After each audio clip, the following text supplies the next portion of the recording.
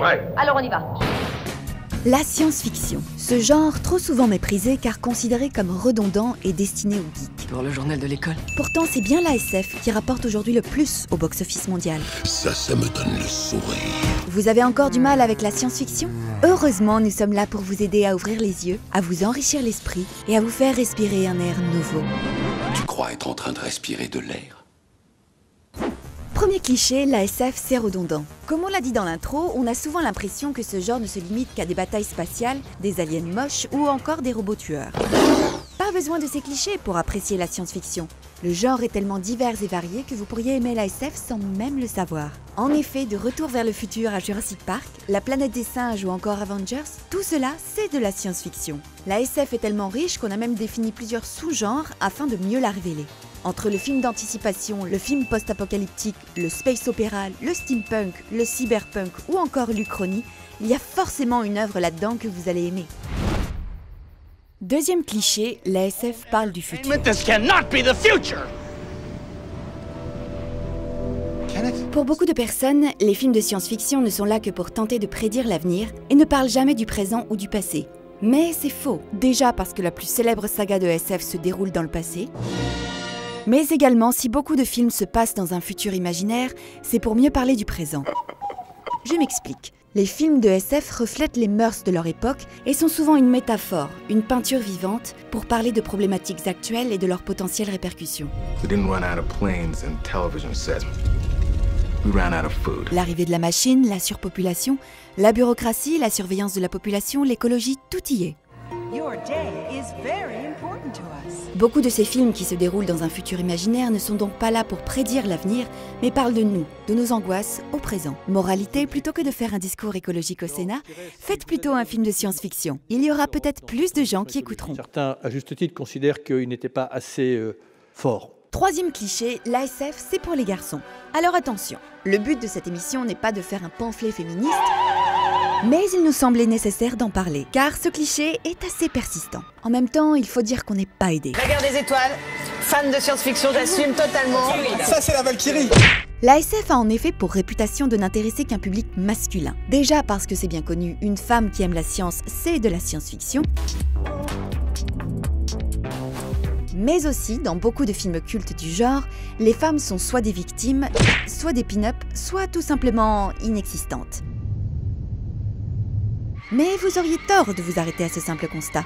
En effet, c'est à une femme que l'on doit le tout premier roman de science-fiction Frankenstein. C'est aussi une femme qui a écrit la trilogie de science-fiction Hunger Games, dont l'adaptation au cinéma a rapporté environ 3 milliards de dollars au box-office mondial. Enfin, les plus célèbres personnages féminins se trouvent dans les films de science-fiction, et on peut dire qu'elles prennent leur revanche sur le cliché de la demoiselle en détresse.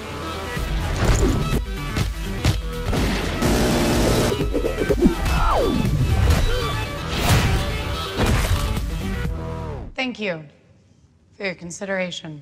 Moralité, oui messieurs, nous aimons aussi Star Wars. May the force be with us. Quatrième cliché, l'ASF est une niche. En raison des gadgets bizarres, des monstres dégueux et des mondes anxiogènes, l'ASF a réputation d'être un genre un peu obscur, réservé à un public d'initiés. Non!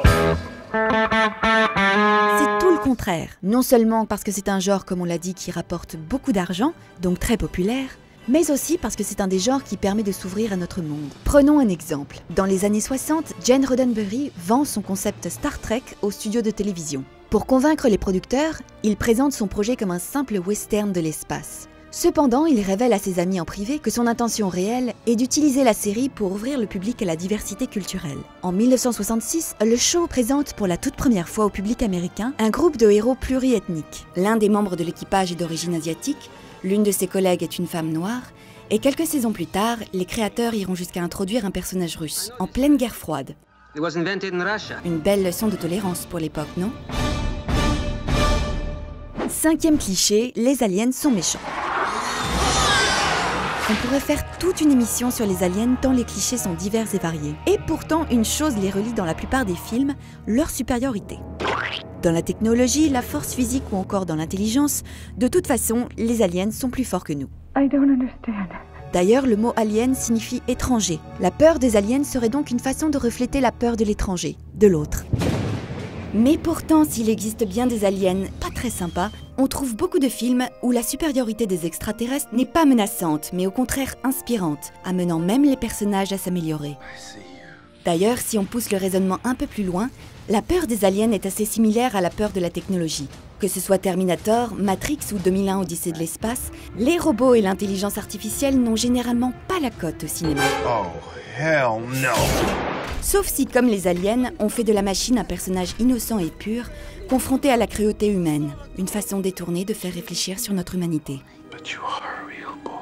En effet, la science-fiction est avant tout la mise en image de l'imaginaire. Les batailles spatiales, les voyages dans le temps, les robots humains, toutes ces choses ne sont que des outils narratifs, où le et si est la clé qui ouvre la porte de ces histoires extraordinaires.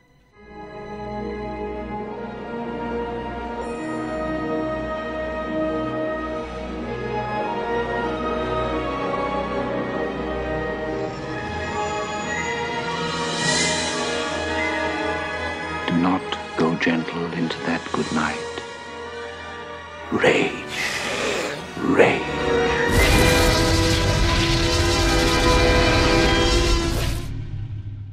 against the dying of the light.